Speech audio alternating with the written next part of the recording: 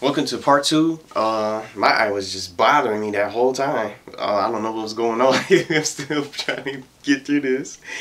So, uh, continuing on with Yanga's questions, those are some of my uh, recent five movies I just recent um, just named from part one, going towards the end there. Uh, there's just a lot of good movies out there. I'm just, it's so tough to pick like a top five. I like the transport. I like action event, uh, action movies too. Uh, you know, Bourne Supremacy. You know, Bourne Legacy. Uh, it's, it's different. It's so many different movies out there that you could pick and choose from. Uh, Child's Play with uh, Chucky, Chucky the dog, the killer dog. Just some other additional movies I like to uh, add in the mix there. And Nightmare on Elm Street. But um, so continuing on with Yaga's uh, questions here, he he also asked about what would be the worst multiplayer game that I play. Easy, Call of Duty Ghosts. I don't even like it. I just don't like it. I don't. It, the maps are too big. You can't see the connections. Uh, there's so much camping. Everyone uses the same weapons over and over. Uh, I, I just cannot get into it. I, I know there's probably other multiplayer games out there, but uh, uh, that's just the worst one I can think of off the top of my head. Call of Duty Ghosts is the worst multiplayer game I play by far from the Call of Duty series.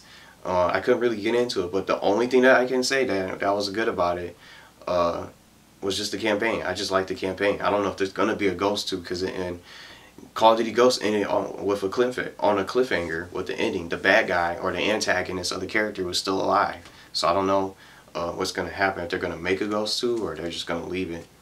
But I gotta just say uh, Ghosts. I don't know what happened there. Uh, and if I had, if I could pick one remastered game, if I could pick one game to be remastered, what would it be? I would definitely say I would throw out there Spyro. I want to see a Spyro game. I would say Spyro the Dragon definitely deserves a remaster. They should do that since they did Crash remaster. Look how amazing that do, uh, is. From the Crash Bandicoot N. Sane Trilogy, that looks phenomenal from the ground up. It looks like it's so beautiful from the ground up. Uh, another game, Modern Warfare 2. They should do Modern Warfare 2 since they did Call of Duty 4.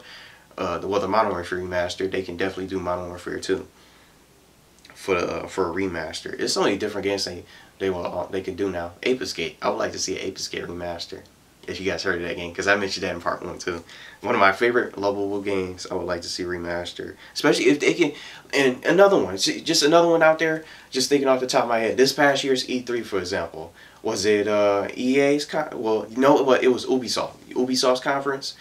Look, a game from several years ago, Beyond Good and Evil. Look what they did to that game. It's going to be Beyond Good and Evil 2. That game looks amazing. If they can do that, they can do Chrono Trigger. They can do all these different Final Fantasy games that they're already doing. Final Fantasy 7, they're already re, uh, remastering from the ground up. And then they also have a remake, a HD remake, that's going to be uh, non-remastered, but it's going to be playable on PS4. So if they can do games like that, they can do a ton of remasters. But those are just some of the uh, games I would uh, like to see remastered.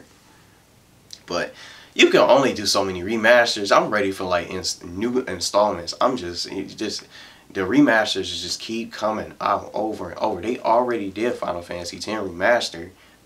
The, the, the, even though the graphics look good, the music just don't doesn't sound the same. Doesn't turn out to be as good as the original music.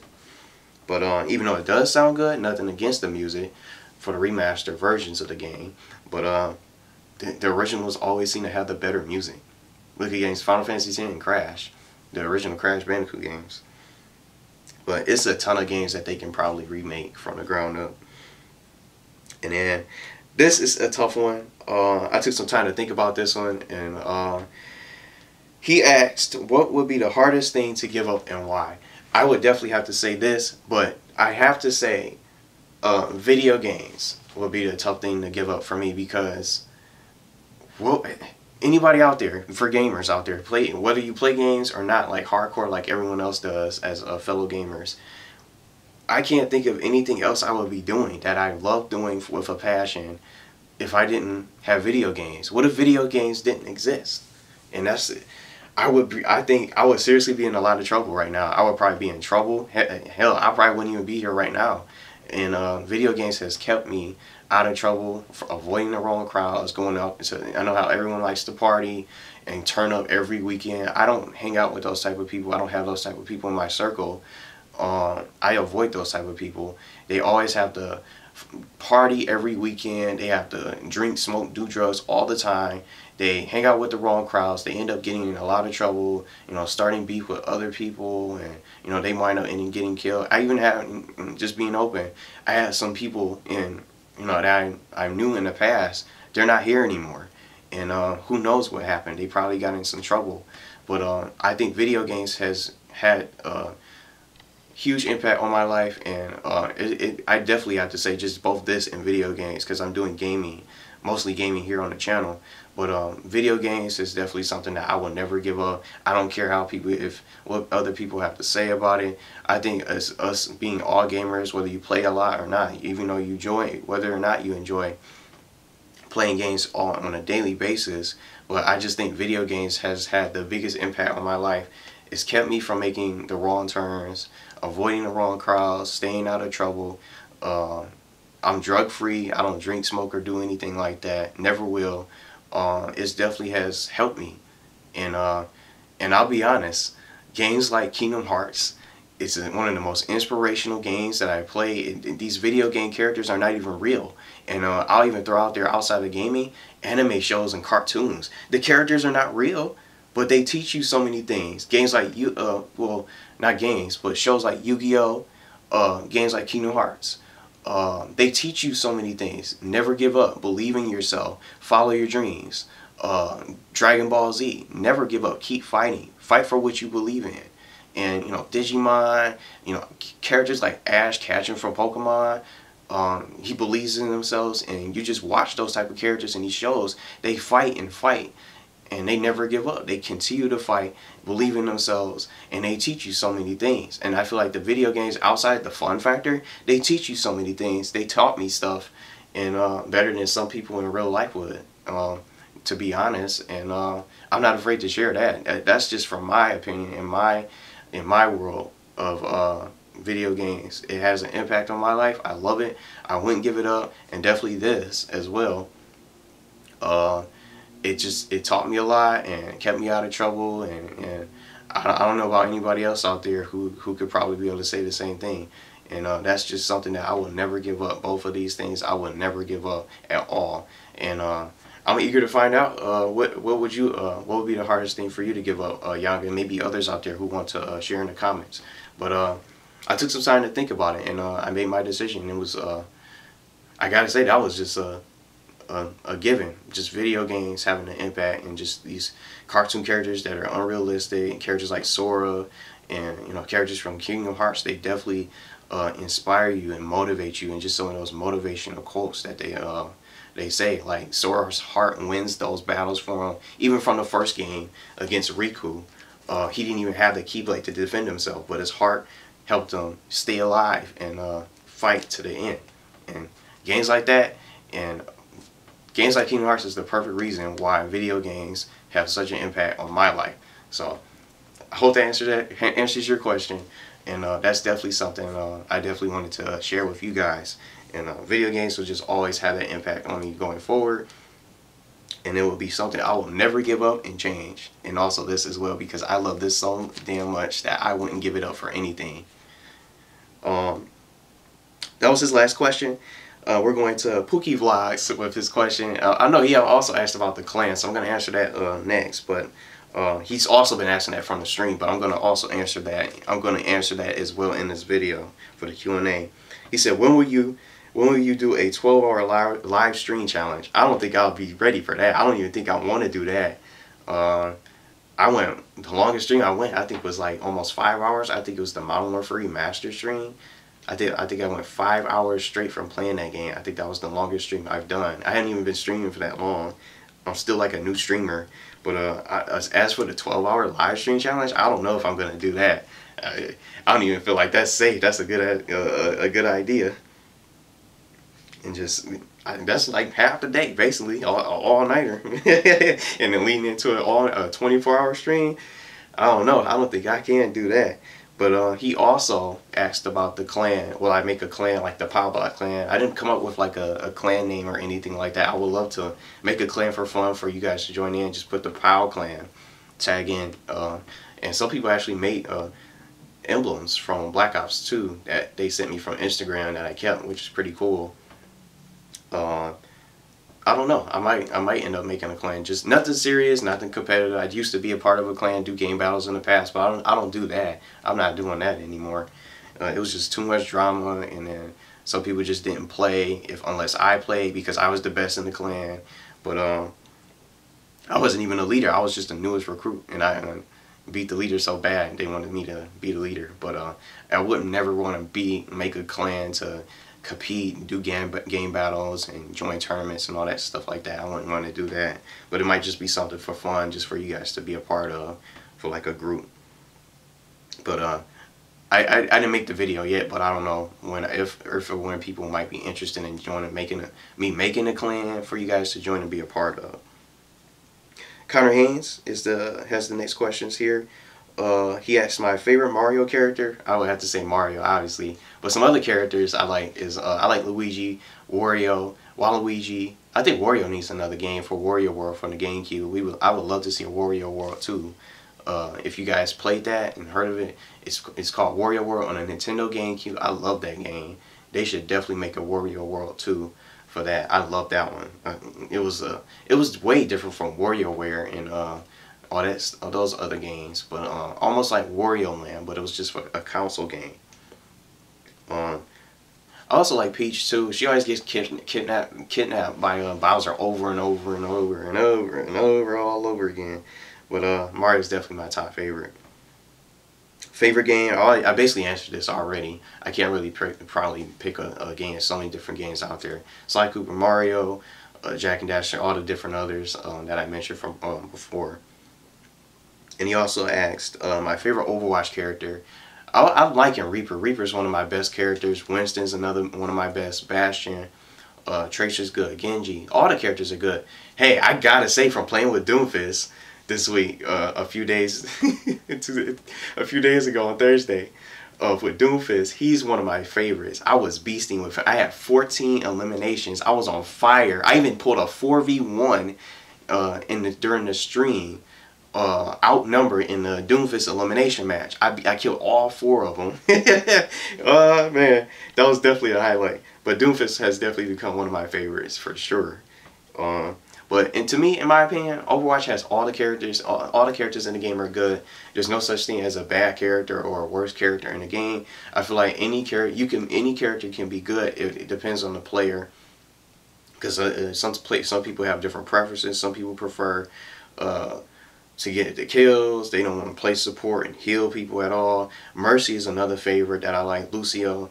Uh, I even when someone doesn't pick a healer, I'll just pick a healer anyway, just to because no one else wants to. Everyone wants to kill and get all the kills and just be a part of the action. Oh, the support support is boring. I don't want to get any. I don't want to just be healing uh, anybody. I want to be a part of the action. I got to get my kills. You know, that's that's just the kind of mentality people have in these online games. And just not even Overwatch, any first-person shooter, objective-based games, get the kills, headquarters, and uh, hardpoint, sabotage. Let's get as many kills as we can and then not play the objective. And then when we lose, let's point fingers at everybody else and blame the team. Next question is from, uh, uh, several questions is from Julian. He said, how were you introduced into Call of Duty and how did, how did I get into it? Uh, I started as a Halo guy uh, in the past. I played a lot of Halo split screen on the Xbox and then I started, I basically first started on Call of Duty 4 Modern Warfare and some people still don't believe me to this very day that I used to be terrible at the game uh, just looking at my skills now, I could never get more than two kills. Seriously, every time I would just die. I was only good with the the the melee, with the knife kill, with the uh, knife melee uh, only. I could never uh, beat my friends in split screen. I would always lose, come in last place. Um, but I'm even better now. Uh, I got good with the shotgun because that was the gun I would really rock in Halo. So of course I was already good with it in um, Call of Duty once I started to pick up and uh, learn the mechanics and the maps and stuff like that. I love Call of Duty 4. It's still the best Call of Duty in my opinion alongside of Modern Warfare 2. My top two favorite Call of Duty games um, in my. In my opinion. He also asked a couple more questions. Uh, would you be open to do a podcast with subs solo or uh, or other YouTubers? I think that was the only question. The other final question you had. I would I would be open to do a podcast with subs. Maybe I can maybe make a a show like this and just sit down and talk about different variety of things outside of this being a Q&A. Maybe I can do that as like a, a series I can come up with. I don't know what would be a, a, a creative name I could probably come up with. Uh, I wouldn't be against to doing that, a podcast. And maybe I can probably use that to maybe uh, create with alongside of a Discord for people to join in. Maybe I can do it like that for like a podcast for people to be a part of. And uh, I can probably make a video and say, hey, I'm going to be on Discord. People going to, people can go ahead and join in right now. And then right now, while I'm recording right now, I can have people in a Discord chat or something like that. So maybe that could be something I can probably use the Discord for um, in the future. But I would definitely love to do it with uh, not just us, but others as well. But um, I don't know. I didn't even. I don't. I'll have to come up with like a name for a series. But that's a that's a good idea that I could probably do for a new series. Slasher seventy three. What was the best video you ever made on YouTube?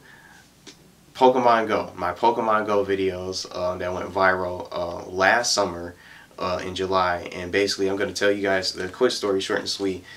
The game came out last summer. The game had tons of server problems. I still play the game consistently uh, for Pokemon Go. I played it since it first came out of last summer, July of uh, 2016.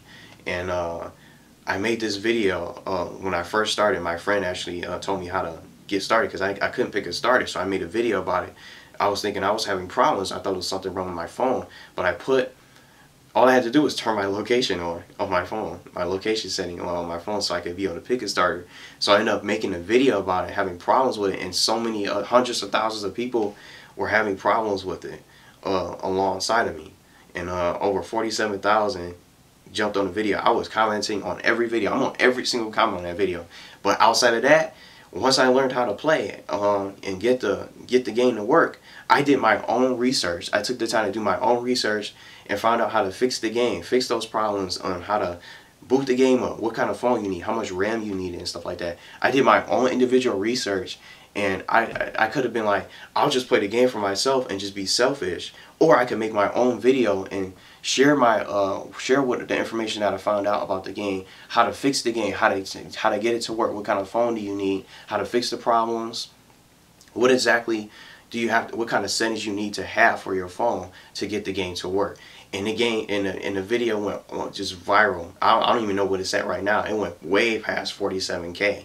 I could look at it right now uh, and show you guys. But it's, it's called How to Fix Pokemon Go.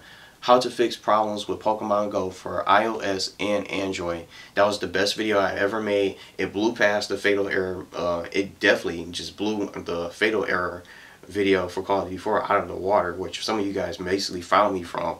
But Pokemon Go has definitely been the best video I made. That was definitely the top video. It still is. It might even be more people, even more people on there now. There's still comments on there every now and then, but I helped so many people on there. It was just like a, it was like I was running my own help service for Niantic. Just uh, no one else was answering the comments. No one else is going to answer those comments. I answered every single comment. It's over 3,000 comments on that video and growing. Even more people are still jumping on there, asking questions, having problems with the game. But that was definitely my best video. Still on the channel. I didn't expect it to blow up like they did. It was amazing that so many people had the same problem. Some people were trying to get their games to work. And for just one single player person, I had to basically walk them through it, walk them through it with their phone uh, what kind of phone do you have? Where are you from?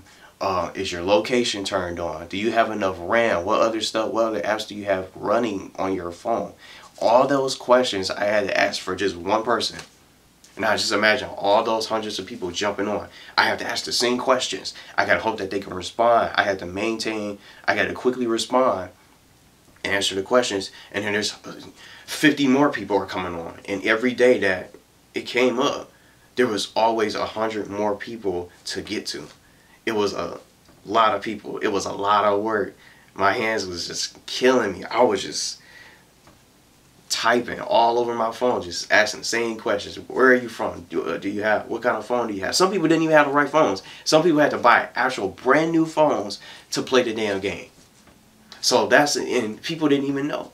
They didn't, some people didn't even have enough RAM. Some people had their games crashing over and over. They didn't know what was going on. I had to walk through everybody, uh, walk through each person, individual person of those uh, issues for just one single person. The same thing over and over. Pretty crazy, but it definitely worked out for me. And I, I got to every last one of them too. I kept it going.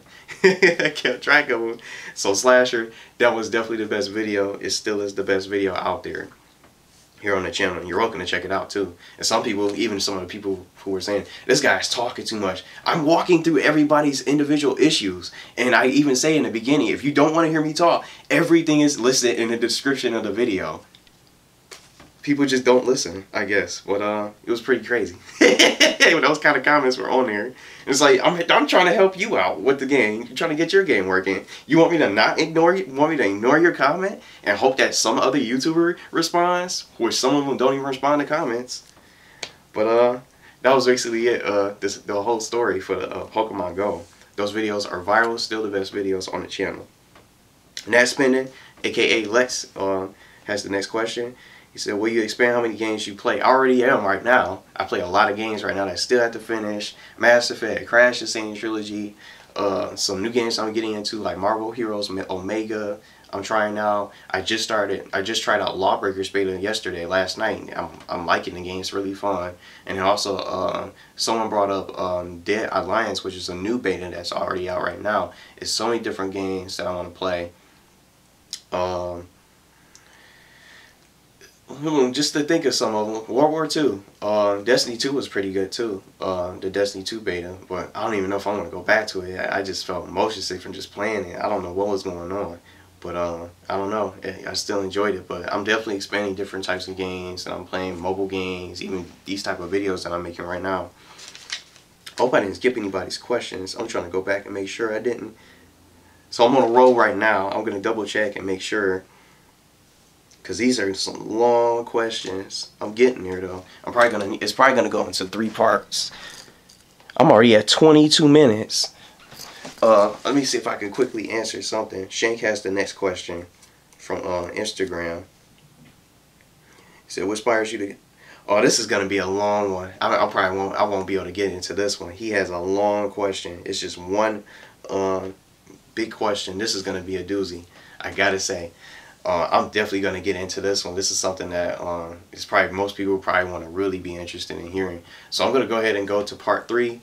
Um, if you haven't, uh, you can go ahead and check out part one. And uh, just like I mentioned before, these will all be listed in the description of the video for uh, timestamps, so you guys can skip ahead just in case you don't you guys don't want to watch the whole Q and A. And uh, if you're interested in hearing your specific question um, being answered. But Shank asked a really good question. This is going to be crazy, but uh, I'm definitely going to get real with this one. So I'll see you guys in part three.